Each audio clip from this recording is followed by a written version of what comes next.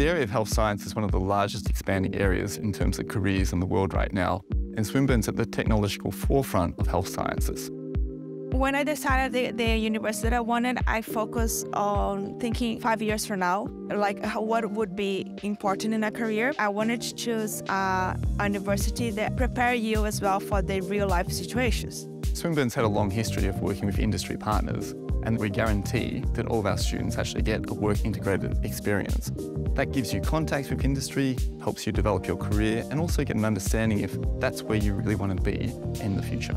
Technology is something that we cannot ignore. At Swinburne, we use future-focused technology to better prepare our students, we incorporate a range of digital technologies. So for example, instead of using traditional method, we incorporate virtual dissection table, which means student can use 3D reconstructed image to digitally dissect human body and also using virtual uh, reality to really immersively walk into the human structure to learn the internal structure of human body and how they function together.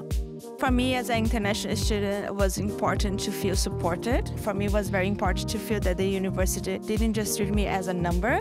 Our lecturers will know who you are, having that experience of talking to lecturers who have been there and done that and worked in industry and worked in research. And that's really critical in developing not only your knowledge, but also your career pathway and where you want to get to. Swinburne is a young but fast-growing university, and we offer students with the latest digital learning opportunities to learn a range of health science courses and majors. When students leave the university, they don't leave as a graduate, but they leave as a workforce-ready practitioner.